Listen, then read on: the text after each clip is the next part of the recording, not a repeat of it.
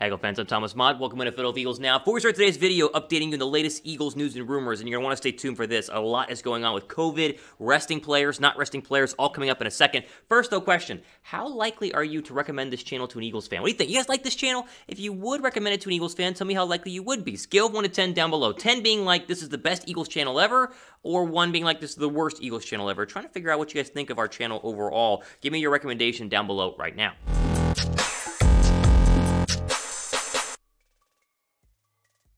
All right, as mentioned in the title, today's news and rumors st start and center around COVID 19. Now, naturally, COVID, little spike in the Omicron variant happening right now, seems to be a lot less mild, which is good news overall. But the inevitable has happened, and the Eagles have had their massive outbreak so far of COVID 19. A report yesterday citing 12 Eagles have tested positive for the virus. Uh, unsure the vaccination status of all 12, although the assumption is the majority of them are. The list does include eight starters between both the offense and defense. We'll show you guys those names here in just one second. But this all comes here on a Tuesday, January January 4th of filming this video, meaning we are just a couple of days away from a Saturday night matchup, flex from Sunday, playing in Philadelphia against the Dallas Cowboys. That's the 8-10 kickoff, I think, on ESPN or ABC or whatever network they have it on right now. But this does come, uh, again, very quickly and very close to the final Week 18 game of the season. So, who are the players? Let's start with the first six. Here we go. Uh, Genard Avery, the linebacker who's played a lot of, uh, he's played a lot so far this season, a lot more than people realize. We forget about him. He had the pick against uh, Taylor Heinicke that was called called back for illegal contact. Fletcher Cox, obviously, big star there. He has tested positive. And safety Marcus Epps, who again is a backup safety but has played a lot this season so far for Philadelphia.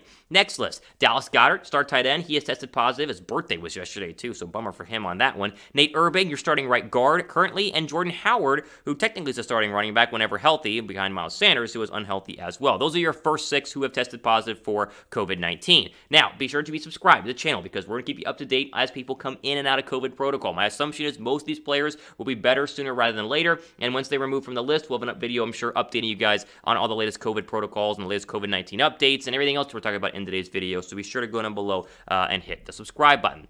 Also in COVID 19 protocol, Jason Kelce, that's not good. You're starting center. He is out. Avonte Maddox, your cornerback, that's just your nickel corner. And Rodney McLeod, your starting safety, have tested positive. I told you, a lot of starters. Boston Scott has also tested positive for COVID 19. Alex Singleton, one of your starting linebackers, and tight end Jack Stoll has tested positive as well for a total of, again, three per uh, list three, four list threes in total. That's 12 players. I told you the number there uh, from the start have tested positive for COVID 19. We'll see if any more test positive today, right? That's kind of the hold your breath for later this afternoon. The list list could become a lot bigger. Um, before we get into why I think this is actually a good thing for Philadelphia, and I'll explain that here in a second. First, though, type get well soon down below in the comment section to wish all the players the best in battling COVID 19. Again, the majority of COVID cases in the NFL right now, vast majority, are minor symptoms, runny nose, little cough, you know, very few are having serious symptoms. But type get well soon down below to wish all the players the best and hope they're able to come back and be ready to go for their playoff run because they are playoff bound.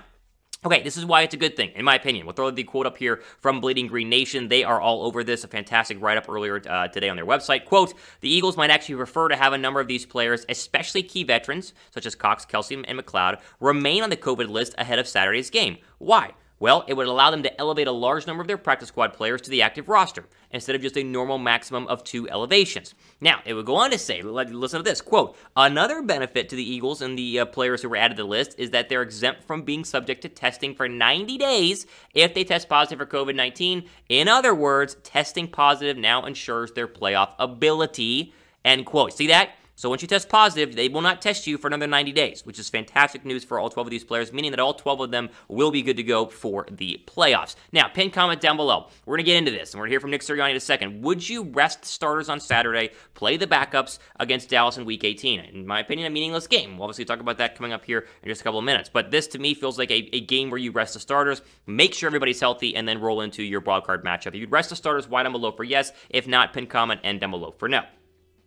Now, Nick Sirianni was asked about resting starters yesterday, and he seems to not have uh, made a decision yet. I bet you in his mind he actually has. He's not telling us if he's going to rest starters or not. Throw the quote up on the screen. Quote, I know there is a thing about resting, and there's a thing about staying sharp. No doubt we're taking everything into account, and we'll discuss that later on today. That was yesterday. So I'm assuming we're going to find out sooner rather than later. But with all these players on the COVID 19 list, regardless of symptoms, I would 100% rest the starters. I think they should rest the starters going into Saturday. What do you win from playing on Saturday. One, you're probably going to lose to Dallas, who, as we'll see, is going to play their starters, and so you kind of you know kill your momentum going into the postseason. Two, now again, if you're resting starters and lose, you don't kill uh, momentum in my opinion because you're supposed to lose. And two, you want to be as healthy as possible. Like there are plenty of Eagles who have some nicks and dings and bruises. Treat this as if you got a first round bye. Like we're all praising the Packers and the Titans for having first round byes uh, in the uh, in the playoffs, and so why not treat this like your own little first round bye, and then you roll into the playoffs extra rested, ready to go against potentially the Bucks or you know the Cardinals, the Cowboys, or the Rams. I would 100% rest the starters. Now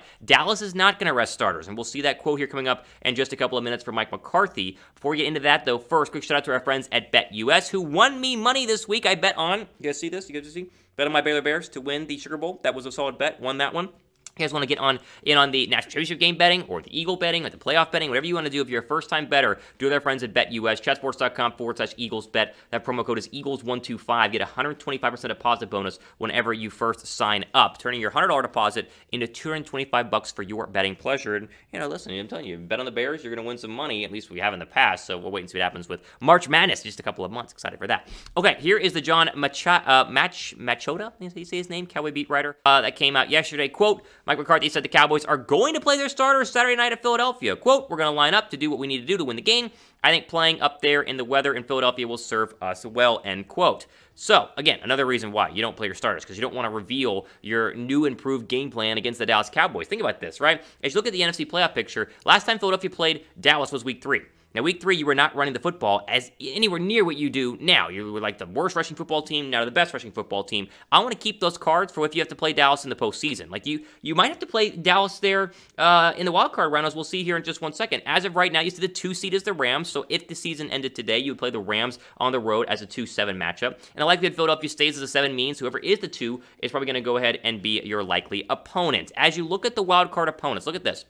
Because the Bucks play the uh, the Panthers on Sunday, people are assuming the Bucks are going to win, which means the Bucks have a 55% chance to have the two seed, meaning it's a 55% chance that Philadelphia plays the Bucks there in round one. Which to me, as we'll talk about in tomorrow's video, is probably the most favorable matchup. If you looked at the Bucks recently, they almost lost to the Jets. Their defense gives up a ton of yards, and uh, ooh, they have a lot of injuries on offense. And the Antonio Brown saga. Like I get it's Tom Brady, but the Bucks to me are a team you want to face there in round one. Cardinals again, they are sorry. The Rams play. The Rams play the 49ers on Sunday. They play the Cardinals. I forget which NFC Midwest matchup it is. Either way, the Rams have a 22% chance of getting the two seed, meaning 22% chance against us, and the Cardinals have an 11% chance of getting the two seed. Dallas also an 11% chance because Dallas lost to the Cardinals, meaning that the odds of the Cowboys being anything uh, higher than a three or four seed are very, very slim. So those are your wild card likelihood opponents. And again, it doesn't matter what happens. I think losing is probably the best idea for Saturday night, or at least you know, bat, playing, resting your starters, and then getting ready for round one of the playoffs because I think they can win round one of the NFC playoffs. And regardless of who it is, I feel very confident about at least being competitive in that game.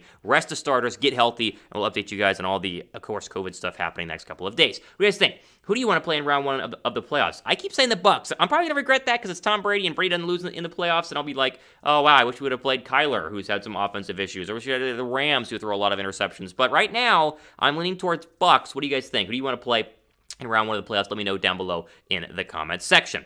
All right, ultimately over today here on Philadelphia Eagles Now. More quicker updates. We do a lot of updates here on the channel, obviously, but you can get the instant updates by following me on Twitter at Real Thomas Mott. You follow me on Twitter, I just hit 3K followers, big deal. I tweet a ton, retweet a ton, like a ton of Philadelphia Eagles stuff. Encourage you guys to go ahead and follow me. And of course, we are going to go ahead and do a mailbag video later on this week, so use the hashtag Eagles down below in the comments section and be a subscriber get your questions showed up on our show. A lot going on, a lot is fluid, a lot will change. We'll cover it here on the channel. For Philadelphia Eagles Now, though, I'm Thomas Mott signing off to the rest of your day.